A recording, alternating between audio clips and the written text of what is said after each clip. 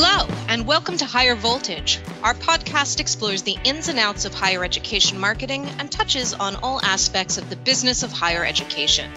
My name is Heather Dotchel.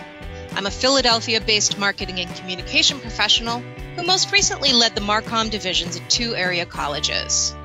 I'm excited to say that Terry Flannery, higher ed wonk herself, is here today to talk about her new book, How to Market a University. Terry, welcome to Higher Voltage. Thank you. I'm ready to bolt. oh, excellent. Um, can you start out by giving our community a, a, quick summary of your professional background? Sure. I'm a higher ed leader with 35 years of experience in the sector. I haven't worked in any other environment but higher ed, and I have experience in different um, areas of higher ed administration. So I started out in student affairs. I moved to admissions and uh, there I had the first opportunity to learn more about marketing, where it was taking hold sooner than in other parts of the college and university environment. And that's where I kind of got my calling. So I've been a higher ed marketer since 1997, and I've worked at um, now three institutions where I'm the chief um, marketing officer, University of Maryland. Um, was my alma mater in my first role, American University in Washington, D.C. And then recently I joined Stony Brook University as their interim vice president for marketing communications in New York. Um, so, three institutions with very different marketing um, challenges and opportunities, but great fun all along. Wonderful. Thank you. Before we get into the meat of the episode, I'd be remiss if I didn't remind you that Higher Voltage is brought to you by Salesforce. Today's higher ed marketers are faced with new challenges and must expand beyond their traditional tactics to engage with constituents.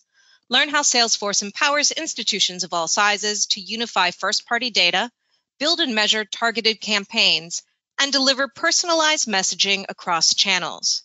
Visit salesforce.org to learn more about how Salesforce can help your institution meet its goals. The title, How to Market a University, is simple and totally accurate. It's essentially a how to manual that not only supplies immensely helpful advice, experience, and tools for all of us, but it also does so in a way that should be accessible to your president, your board, your fellow higher ed executives. I have to say, I was trying to skim through it in time for the episode, and I found that I could not skim it. I kept getting pulled in. it was Yay. just rang true. Um, it was so well written with the flow that it was very easy to slip from skimming mode and go into deep reading. And then at some point, I just stopped skimming and said, okay, everything's going on hold, and I'm going to sit down and read this. I got you. Um, you did. But, you know what's um, really funny though, Heather, though, is that even though I know it is an important work for CMOs, I wrote this book for presidents, provosts, and boards of trustees. So it's really written in a in a way that is accessible to them. It's not filled with marketing lingo. Um, it's designed to help those leaders understand the value and true purpose of marketing. But it's got some tools in it to connect um, those leaders with their CMOs. And so every chapter has a set of discussion questions that I encourage folks to talk with their leaders about yeah, it's definitely going to be on my uh, my list of, of handing it over to, to my president at every position I might be in, and perhaps positions that I'm not that I think it could just be useful for them. so, in the introduction, you talk a bit about the, um, the motivation behind the book, the process of writing this book. You actually left your position at American University to devote yourself to its writing, yes? Yes, after 11 years in the role, and that was hard. But most of us know that um, our day jobs are very unpredictable, even more so since I uh, stepped off this cliff to write the book. Um, and, you know, I was trying to do it for about six months just in my own time, and there was never my own time. So, in order to really do it, I decided to do sort of a self funded sabbatical. Um, and it took about six months to write the manuscript and then, you know, into um, editing and all the other stuff that goes on afterwards. You mentioned in it you received advice that a good way to approach it would be to um, interview and converse with a few experts um, mm-hmm. in the particular chapter topic and then use those transcripts. I thought that was genius. Um, mm-hmm. Did you find yourself using that technique? I did. So this is an idea. I, I polled all my faculty friends at American before I started writing to say, how do you do this well? And they gave me all kinds of tips. Um, but one came from Jim Thurber, who is a prolific scholar and someone who's written, I don't know, multi, he's at the top of his field in terms of presidential and congressional studies, written multiple books. And he said, he's an he's an extrovert like I am, and he said, you know, this is a solitary exercise. So one way that you can make it less so that it will also help you write the book is to write an outline for your book, do a paragraph for each chapter about what you want to cover, and for each chapter, send that to someone who you think is an expert that w- that you'd be able to have a chat with, and send it to them in advance. Set up a meeting for an hour, record it, and uh, ask about what's missing, ask for examples, see if their thinking is aligned with yours or not and why. He said, when you're finished and you've recorded that, the chapter will virtually write itself. And he was absolutely right. But it also gave me the benefit of talking to some of our, our greatest thought leaders in the field um, and some presidents who've been through this work from their perspective. So it really gave me opportunities to have it not be a, a solitary experience, but also to bring in some really good thought leadership from elsewhere. I loved that. My path through marketing and comms, since we all have different ones, is publications and writing. Uh, mm-hmm. Uh, so when I was going through the introduction, that that really jumped out at me, and I thought, oh, that's a fantastic way to approach it. So I wanted to to mention. I that. recommend it. Yep. Uh, so you write at the beginning, uh, I have a, a, quote here. The pressures to stand out, successfully compete, and meet an institution's goals have never been more acute. In a period of declining public support, a shrinking pipeline of traditional college bound students, and a steady rise in tuition and discount rates, and in the wake of a devastating global pandemic that is likely to permanently alter the higher education landscape for years to come, leaders are under intense pressure to ensure steady or growing enrollments, cultivate greater philanthropic support, grow research funding, and diversify revenue streams, all while strengthening institutional reputation. Uh, this is chilling, chilling and true. Um, but it does really highlight how lockstep institutional strategy and marketing strategy mm-hmm. must be in order to succeed. Yeah. About what percentage of university leadership understands this, do you think? um, I'm not sure I know a percentage, but I would say whatever it is, it's on the rise. And even for those leaders who don't understand this, they're curious about it now, or they are inclined, almost in terms of a burning platform, if you've heard that term before, to jump off and find out more about this work because um, they're in positions that the incentives have never been greater. Um, and some of the forces that you mentioned in that quote, you know, are really challenging them to look for tools or options or approaches that they haven't in the past. So, one of the essential premises of the book for this audience is marketing strategy is institutional strategy. And there are three presidents that I talked to that I highlight in the book that were going through the process of developing their strategic plan and their brand strategy at the same time who understood that that was the case. They should be informed by the same research um, and they should be aligned closely. Uh, they don't always have to be done in, in tandem. Sometimes the circumstances don't allow for that to happen, but clearly leaders are beginning to see the value. And that's certainly a new phenomenon. When I started in this work, we couldn't even say the M word.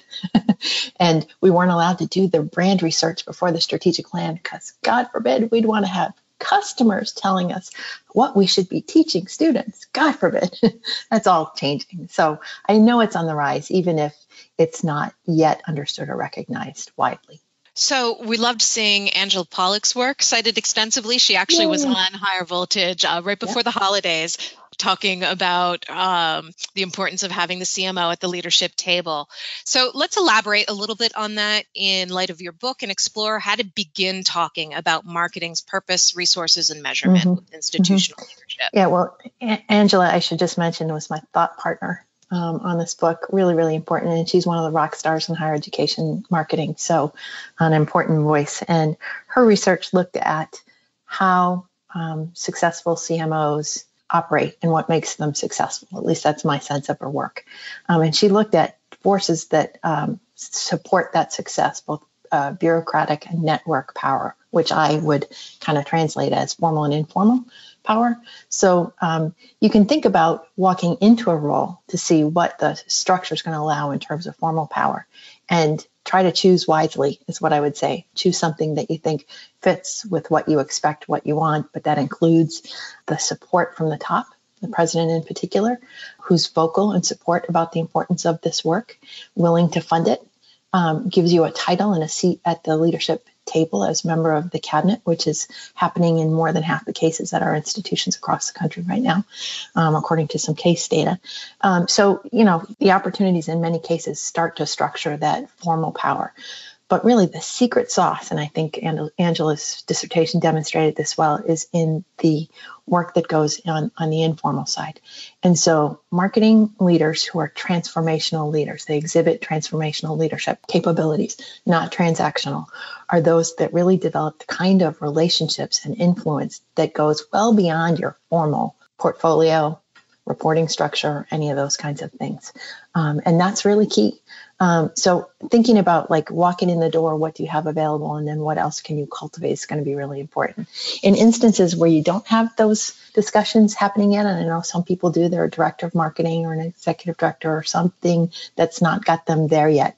I think I would say look across and look up. Who are your colleagues that you could have conversations with about this work?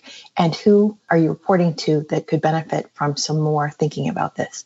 And sure, you could give them the book and have some conversations about this. But really, I would say think about things like bring the data we have a unique position in our institutions where we have data that crosses many different functions and many different audiences. And we have this unbelievable perspective about the stakeholder audiences that's about as wide as it comes. Maybe only the president has a similarly wide view in that regard.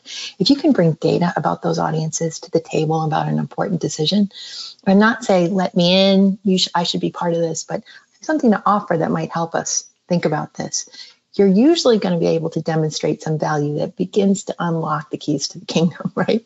So then people start to see, hmm, this person has a perspective and some intelligence that could really help us with our thinking about our strategy, our position, our pricing, our service, our program. Um, and that maybe is the place to start if you don't have it yet, and then build on that.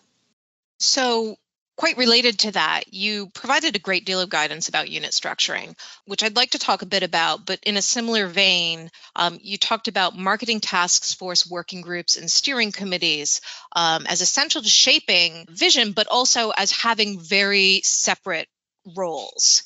Can you highlight the differences and particular usefulness of each group for those who might not work with these types of partner groups already? I know in my institutions we had one or not the other, or mm-hmm. two, or mm-hmm. maybe something called by another name. Can you talk a little bit more about the structures that you work sure. with? Yep. So I think uh, the, the, the structures that you're talking about are tools for integrating that compensate for things that aren't part of the formal structure. That's how they're presented in the book. So, in many instances, we are limited or hindered in some ways by our decentralized functions of marketing and communications across our campuses.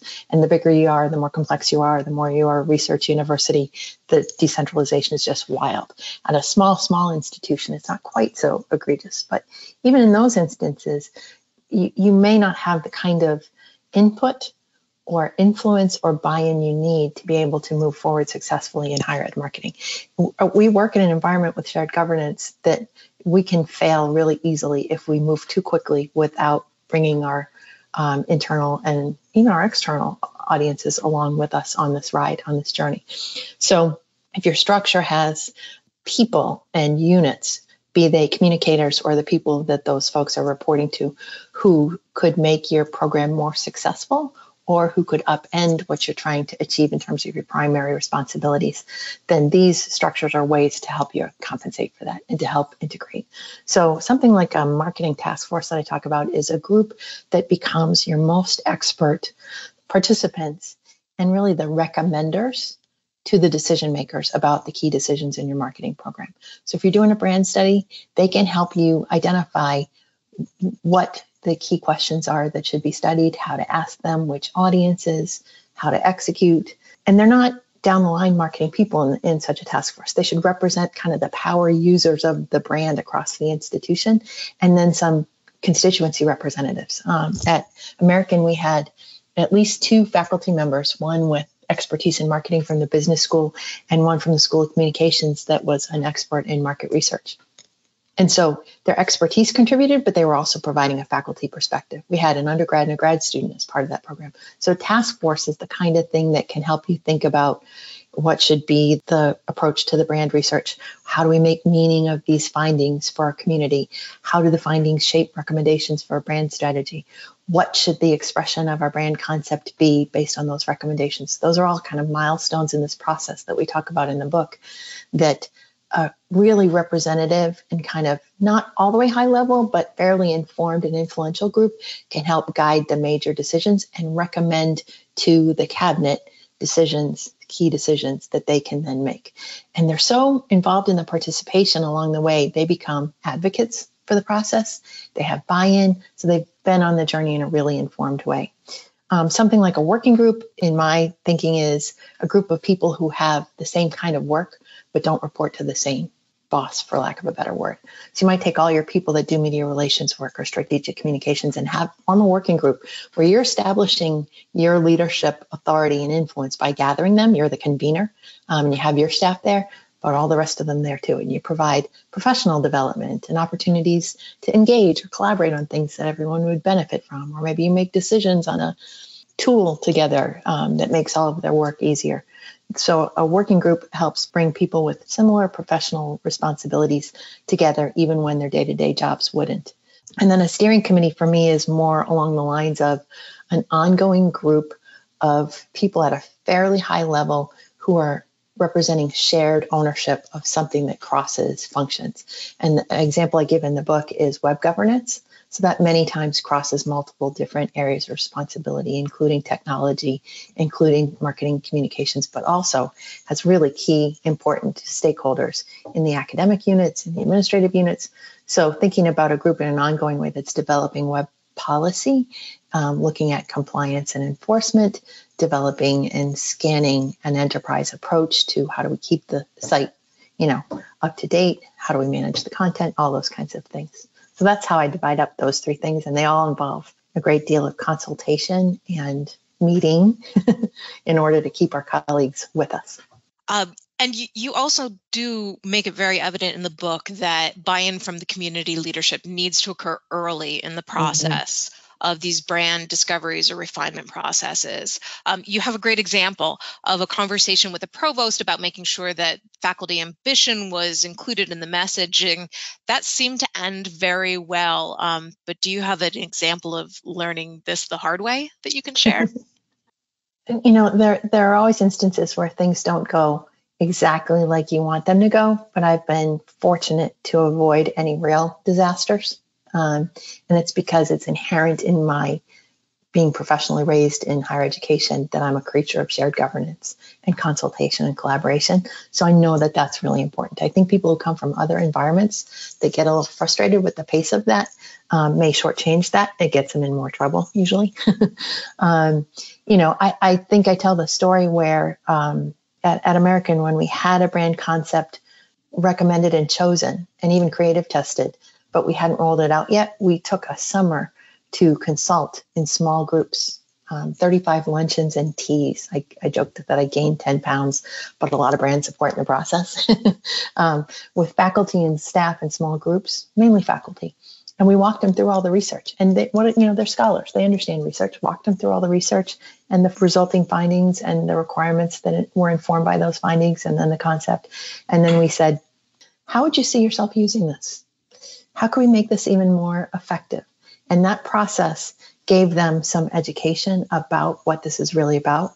It helped establish sort of what this thing is designed to do. It got us out of the discussions of, I don't like that color, I don't like that typeface, I don't like marketing, it's commercial, and brought it right to their work in a relevant way.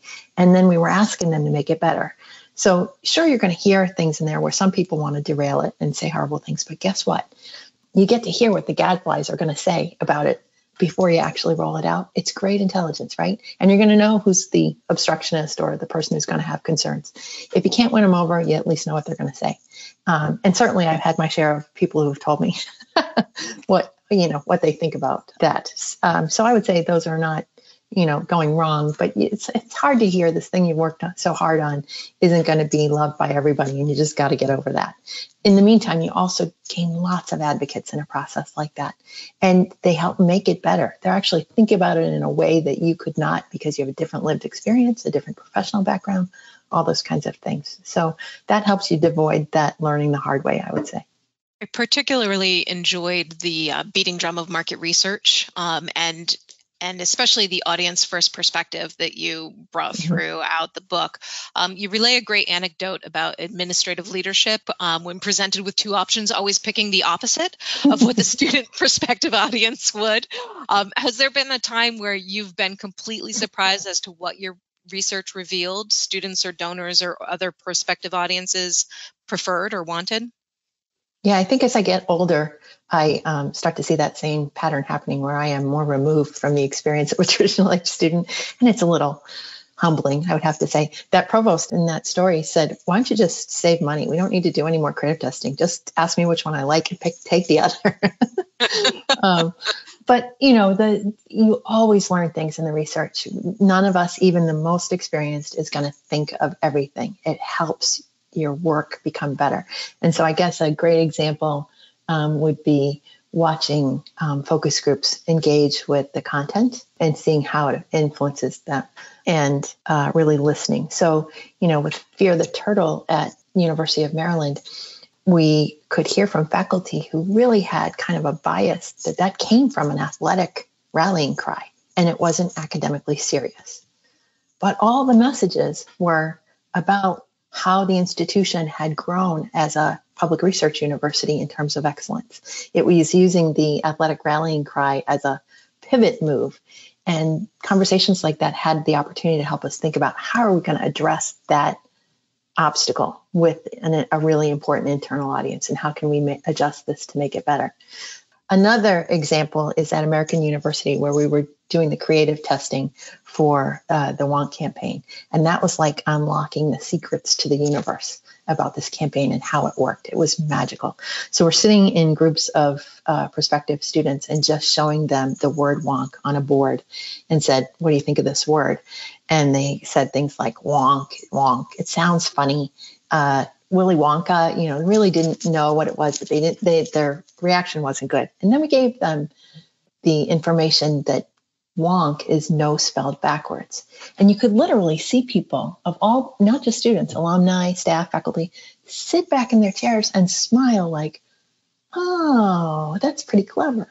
Um, and uh, for a concept that's for a educational institution, they could see that relationship. They realized where did this come from? We actually gave them some stories about how wonk emerged as no spelled backwards. Then we um, gave them a definition.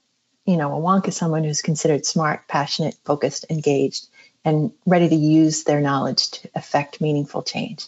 And they're like, oh, that's American University. That's American University. Then they started using it, you know, and doing examples of what kind of wonk they were or could be and how we could use it. It helped give us the roadmap for how to roll out the concept because it was going to have these challenges at the beginning that uh, needed to be addressed. So great opportunities to see how you can learn from those experiences. I love that. And I love that that is a campaign that's ownable. Um, we're talking a lot. I mean, we have for years, but I think the the pandemic has accelerated things to such a point that we're talking about schools really, really needing to dig in and differentiate themselves, um, and having messaging outside the norm, but that is very ownable for the institution with Americans' location and all of that. Wonk mm-hmm. makes a lot of sense. Fear the turtle is is different and it's cheeky and and it, it you can't just throw any institution in there and right. have it work. Fear the turtle, do I remember correctly? Was that the second go round for messaging from that campaign? It was. So it was the second expression of the brand concept uh, or the brand platform. So the first one was Zoom, and uh, it was a really good start for our very first brand expression at Maryland. But it had kind of a short shelf life. People got tired of it very quickly. It was a little gimmicky. In the words of my president at the time, Dan Mote, who was a huge advocate for differentiation, very courageous guy, said, This one, speaking of Fear the Turtle, this one has legs. And he was right. You know, it lasted for more than a decade and is still the pl- platform's there and expressed in fearless ideas now. It's been modified in some ways, including after I left, but the um, notion of it of it having some longevity is really important. That expression came from what people were trying to express with the mascot the terrapin, which is a really unique and differentiated mascot. So right there, you start from a place.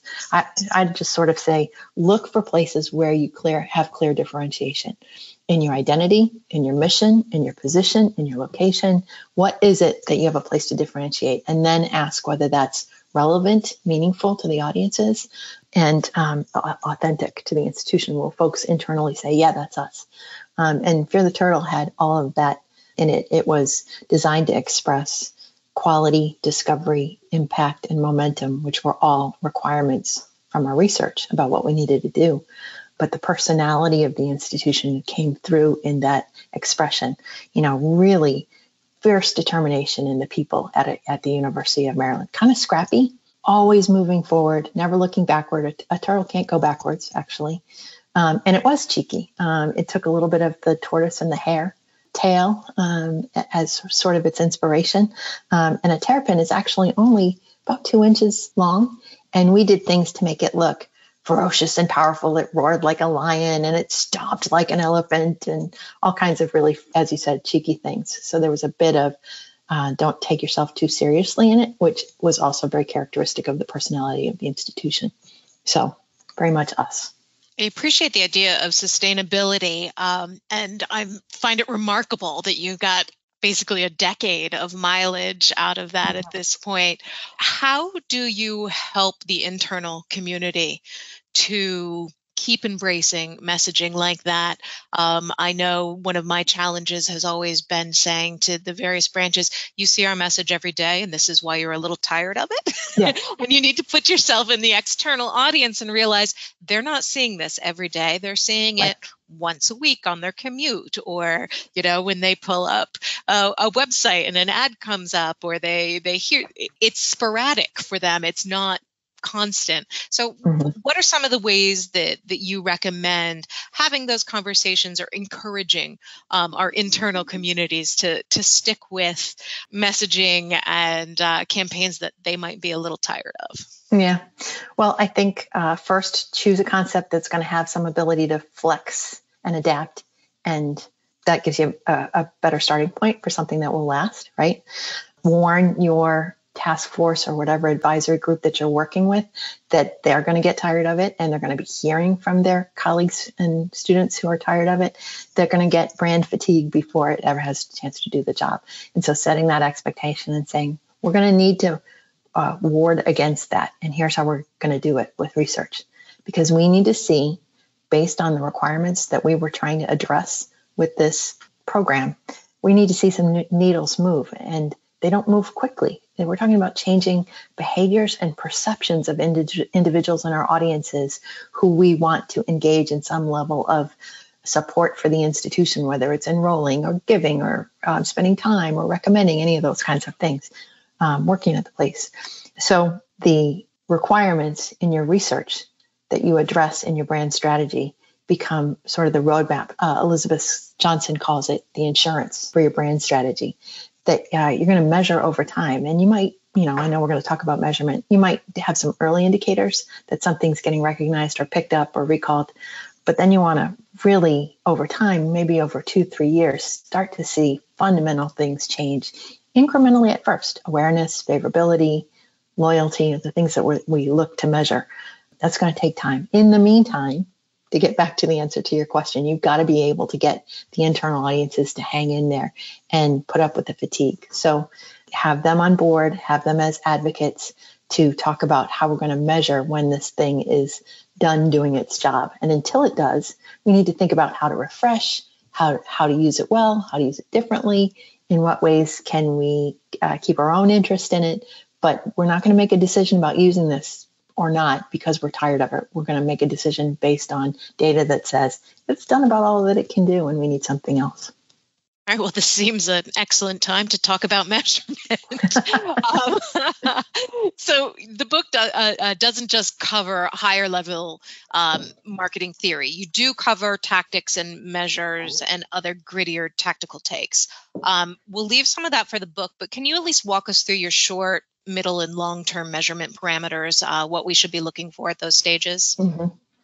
So, you know, I think this is one of the three things that leaders want to know about um, related to marketing. They want to know how to organize, resource, and measure this stuff, measure the effectiveness. So I break down um, the measures into short, middle, and long term measures, thinking in terms of time because this process isn't one that you'll see um, immediate substantive results that say, yes, this is all working in the right direction.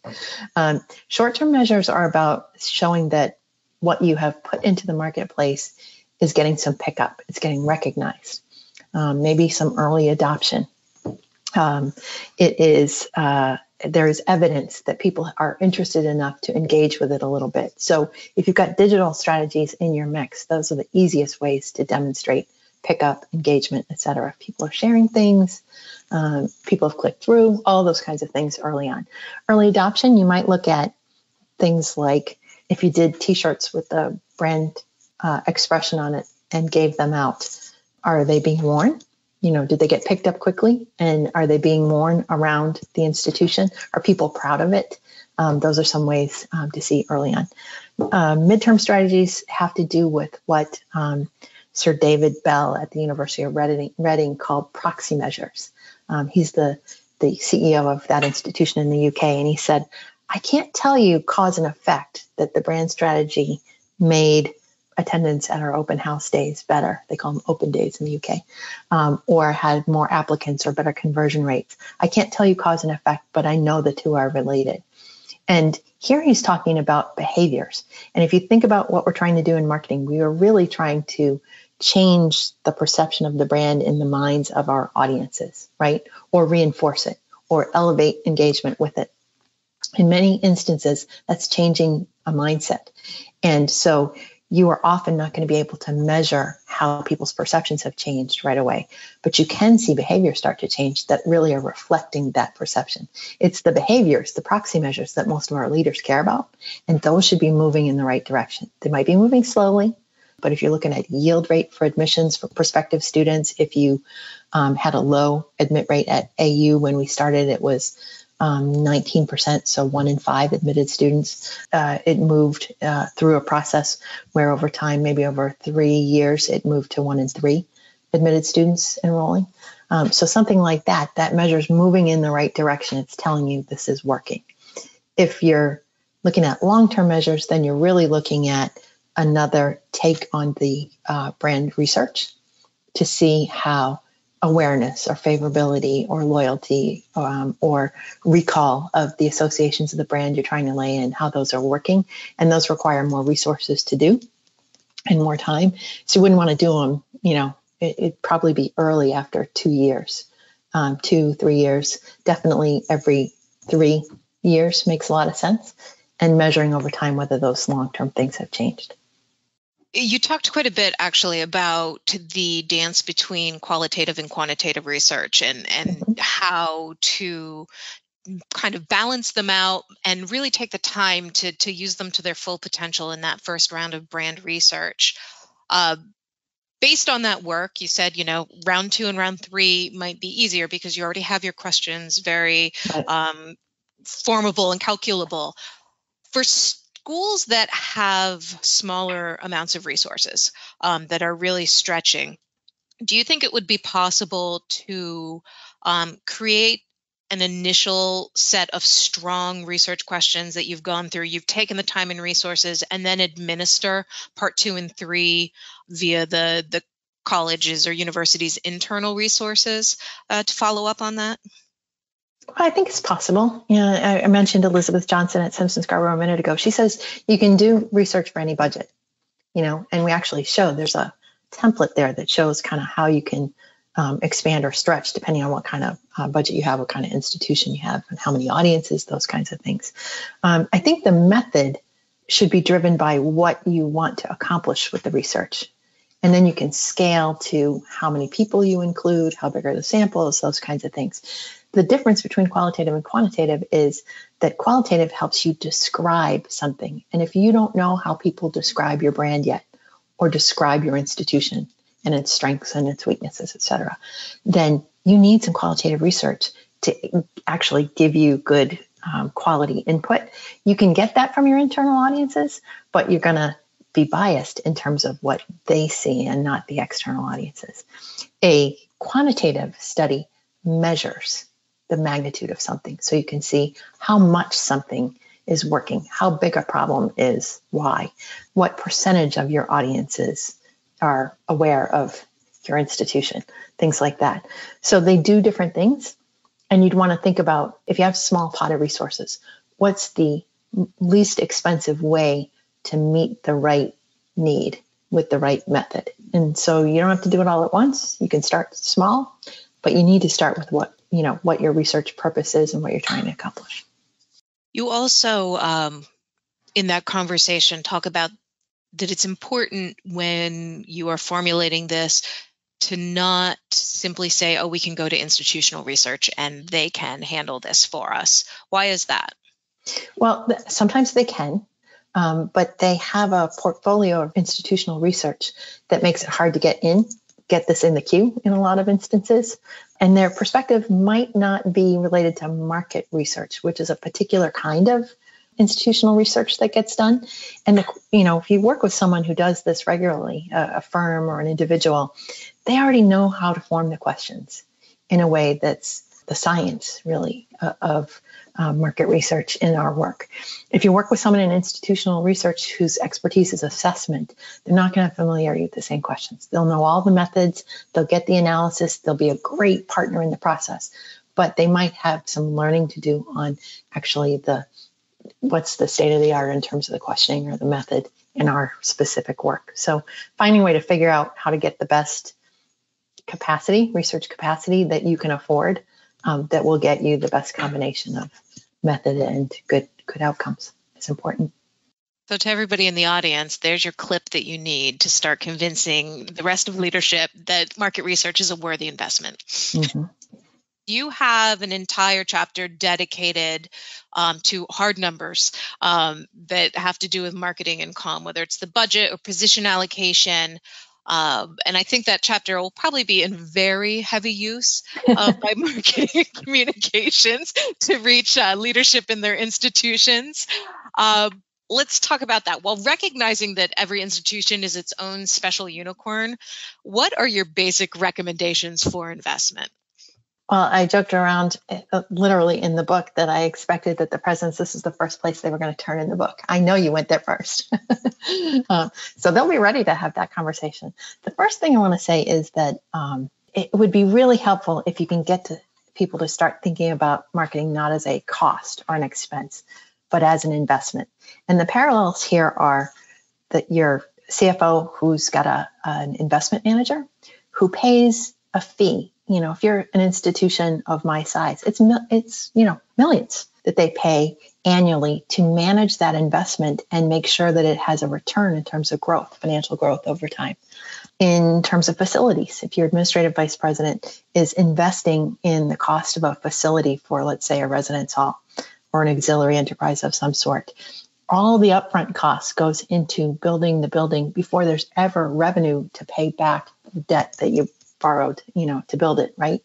This is the same thing. There is an investment to be made that will create value, both revenue and reputation, depending on what you're using it for, right? So it could be for enrollment, it could be to support fundraising, it could be for other kinds of things, for reputational purposes to build favorability for the institution, to build brand loyalty among your key audiences. All of those are building value, which is the subtitle of the book, right? So getting people flip the script to get institutional leaders to think about this as an investment also implies that we are going to be held accountable for showing what that return on the investment is. And there's a, chap- a piece of the chapter on that as well. The numbers, I give you all kinds of ways to think about this. So it used to be when I was uh, kind of coming up in this world that the easy handle was percentage of total budget. And um, marketers at that, that time were saying, particularly in corporate environments, that you should have three to 5% of the budget. Now, the American Marketing Association does a survey every year by sector. And they've demonstrated that in education, the percentage of total budget is 11%. That includes all kinds of education folks in the sector, including OPMs, online program managers, who've demonstrated in the media when you've looked at a place like a 2U or something, or Southern New Hampshire University, but still nonprofit, but uh, big online presence. They're spending like 19, 20% of their budget on marketing um, but it's got a huge return that oh, performs well above that investment. We're never going to be at those points in nonprofit higher education. We're not, right? And it was shocking uh, when we started the brand work at American that that one percent of the budget was going to go to this. That's a tall order for people at some institutions to defend for a president to defend it. Your boards are going to know much quicker than the rest of the leadership um, that that's uh, low and well worth the investment. So I kind of go through here are some ways at different kinds of data to help you think about what you might need. So there's um, research from uh, both CASE and from a survey of CMOs that's been done now three times that you can look at your type of institution and you can look at the mean, the minimum, the maximum, and get a sense of dollars expended uh, for your type of institution and see what realm you're in. That's just a you know what's in your marketing budget.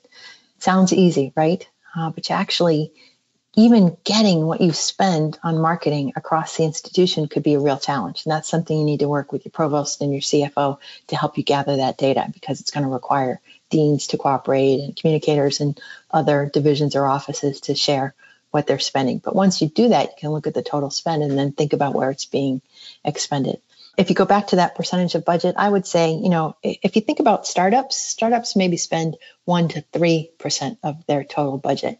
And if you haven't invested in marketing before, maybe that's the place to put a stake in the ground and say, here's where we should start.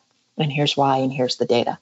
And then work your way up after you have demonstrated some return on investment over time. And it really requires you, obligates you to identify how you're going to measure this process before you invest in it and then report on it religiously to your leaders, to your key audiences.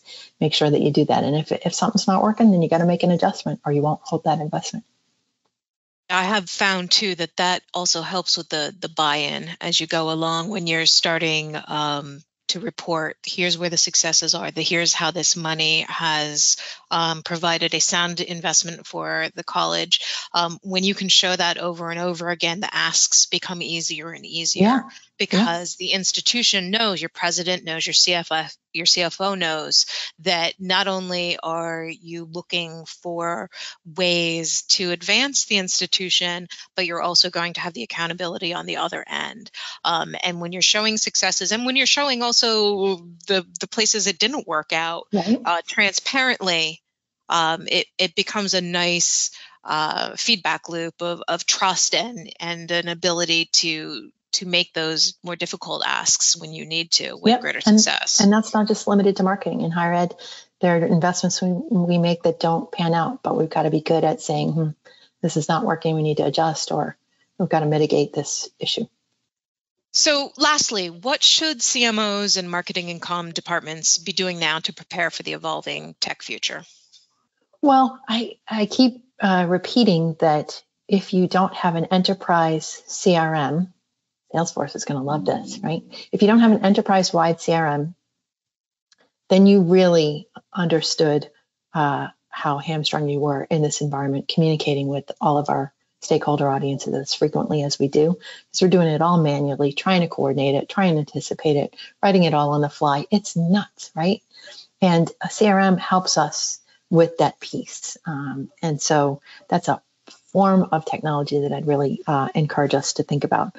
I think many of us are not sophisticated enough in terms of our digital marketing and need to get better at MarTech that uh, is used to support that work. Um, I think that the whole online experience of our students is giving us information, huge information about user experience that we should be tapping through our tech tools to understand how things are going, how to make them better.